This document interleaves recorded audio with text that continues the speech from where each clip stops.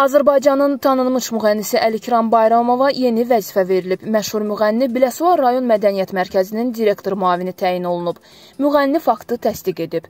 Qeyd edək ki, Əlikram Bayramov Biləsuvara köçüb, hazırda orada yaşayır və fəaliyyət göstərir. Əməkdar artist Nigar Şabanova sosial mediada paylaşım edib. Sənətçi Instagram hesabında övladlığa götürdüyü qızı Nəfsə ilə fotosunu paylaşıb. İfaçı fotoya "Biz çox xoşbəxtik" sözlərini qeyd edib. Onun paylaşımı izləyicilərin marağına səbəb olub.